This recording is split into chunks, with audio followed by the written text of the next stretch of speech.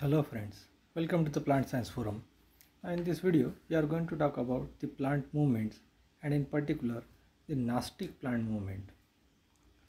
The movements shown by plants, they are not strictly marked. That means you cannot visually observe the various movements the plants is exhibiting. In case of cryptogams, such movements can be visualized, but in case of higher plants, as they are fixed to the substratum, only their certain organs they exhibit the movements the organs may be roots, stem and leaves, flower, etc. The plant movements they are brought about by the stimulus. The stimulus may be external or it may be internal. Such movement they are of two types: spontaneous or autonomic, or and another type is the induced or paratonic type of movements. The paratonic type movements they are of three types: tactic movements, tropic movements, and the nastic movements.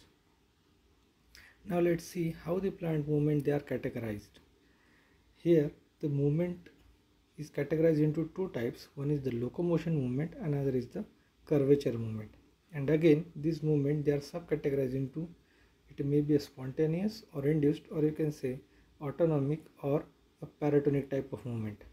In the movement of locomotion, the induced movement includes a tactic movement type which may be uh, chemotactic, thermotactic or phototactic. Now in case of movement of curvature, it is also again subcategorized into two types, spontaneous or induced or you can say autonomic or paratonic movements and each of these two they are again subcategorized into movements of variation or the movements of growth. In case of spontaneous movement, the growth movements shows the nastic type of movements. It may be epinastic or hyponastic. And in case of induced movement of curvature, there are two types, variation movement and growth movements. The variation movement includes nastic movements, maybe a seismonastic, and growth movement includes the tropic movements, phototropic or geotropic. Now let's see the differences and the comparison between these three type of movements tactic movements, tropic movements and nastic movements. As we already discussed, tactic movement they are the movements of locomotion and the tropic and nastic movement they are the movements of curvature. In case of tactic movements, the complete plant body shows the movement. It is observed in the lower cryptogams. Whereas in case of nastic and tropic movements, only some body part shows the movement. The direction of stimulus is unidirectional from outside in case of tactic movements. Also same is the case with tropic movements that is stimulus is unidirectional and from outside while in case of nastic movements the non-directional stimulus arising from outside is necessary. Now the direction of movement in case of tactic movements. The direction of movement it may be towards or away from the stimulus. While in case of tropic movements the movement direction is dependent upon the direction of stimulus. And later when it comes to nastic movements the direction movement of direction is independent of position of stimulus. Now if we compare with respect to the cell division in case of tactic movements for the moment cell division doesn't occur. While in case of tropic movements, there is a cell division for exhibiting the movement. In case of nastic movement, again there is no cell division. In case of tactic movement, the stimulus may be light, heat or chemical. In case of tropic movement, it may be a light or gravity stimulus. In case of nastic movement, the stimulus may be touch or turgor. Now let's talk in particular about the nastic movements. Now when growth movement occur in response to external stimulus which is a non-directional and diffuse type then it is called as a nastic movements. Now this movement they are shown by a bifacial structure like leaves, sepals and petals. Now, what does bifacial structure means? Here you can see a leaf. This is the dorsal surface or adaxial surface of the leaves. And here this is the abaxial or the ventral surface of the leaves. Here both these surfaces they are different from each other. That means it has the two faces. This is one face and this is another face. That's why it is known as bifacial structure. As such bifacial structure they are present in leaves sepals and petals. Only such type of organs they exhibit a nastic type of movements. So in this movement the, there are certain kinds of stimulus. It may be a light so photonastic it may be temperature so thermonastic it may be arise due to touch so seismonastic and the changes may be because of light condition or day condition so it is a nyctinastic so likewise there are different kinds of nastic movements. Now when it comes to light condition we are talking about the photonastic movement here the example is flowers of oxalis. They are open in day condition while close in night condition. That means with the sunset they start closing. Now if we take the example of flowers of nicotiana they are closed in day and open in night in contrast to the flowers of oxalis. Now when we talk about the stimulus temperature as a stimulus in nastic movement so let's take the example of tulipa flower. In tulipa they are open in warm temperature while they closes in the cold temperature or in cool temperature. So this is how with respect to the light and the temperature condition they shows movement. Here the direction of temperature or the direction of light is not important. Only their presence and absence is important. Now let's talk about epinastic and hyponastic. Epi means upon and hypo means below. So here we are talking about the epinastic and hyponastic movement in case of plant at some stages of the development growth may occur at one phase or it may be more at another phase. So in such case when growth occurs at the upper or inner surface then it is called as epinastic movement but when growth occurs at lower surface it may be known as hyponastic movement here you can see you can consider this as a bifacial structure. This is one side of the face and this is another side. One side and other side of the bifacial structure.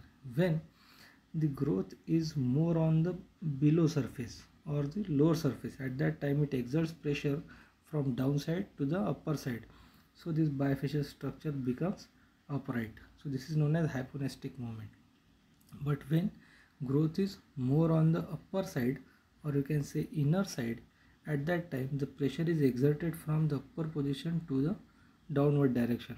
So this type of movement is known as epinastic movement where it attained a downward direction. Similar is uh, similar condition can be found and observed in this experiment where the leaf has bent downward because of epinastic type of growth. Now the classical example to study the epinastic and hyponastic movement is the poppy floral buds. Here in this diagram you can see the poppy floral buds assume a drooping condition. This drooping condition due to epinastic growth movement that is the growth occurring at the upper surface or inner surface. But subsequently a hyponastic growth is also observed in the floral axis because of which the stalk of flower it becomes upright. So this is how a bended bud become upright flower because of epinastic and hyponastic type of differential movement. Now let's talk about this seismonastic movement. The word itself indicates that it is because of touch as a stimulus. So this is observed in the Mimosa pudica plant.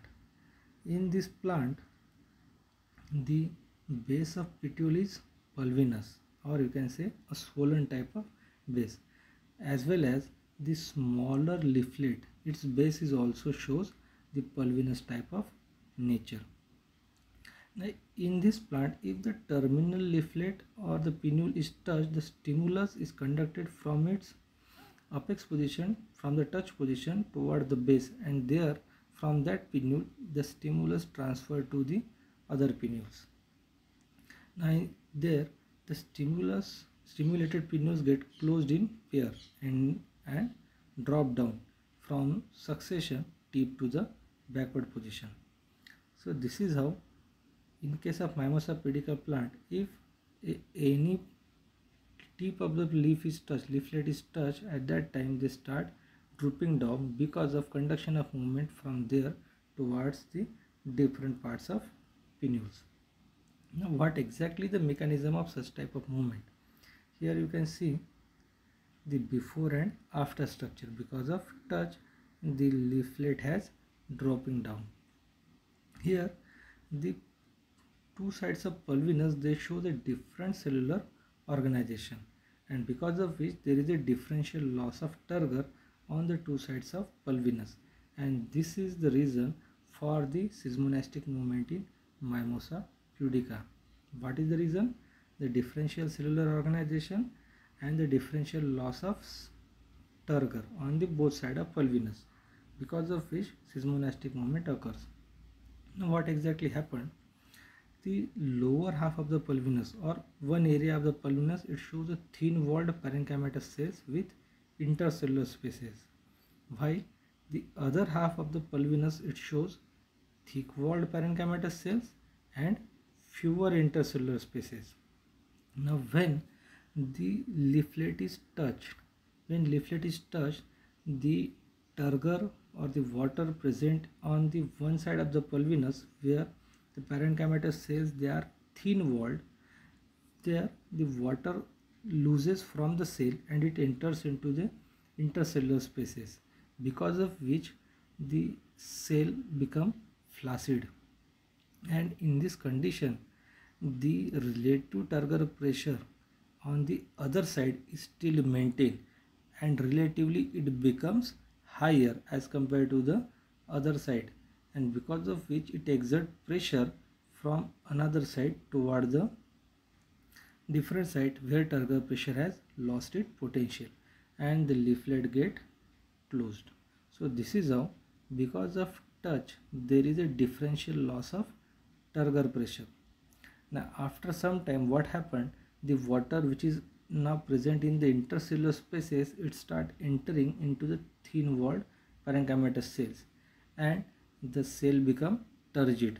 Now the turgor pressure on the two both the sides of the pulvinus uh, in the cells it becomes equal and the leaflet attain its original position. So this is how seismonastic movement work. So this is all about the movements. If you have any question please feel free to ask. I hope you understood the topic. Thank you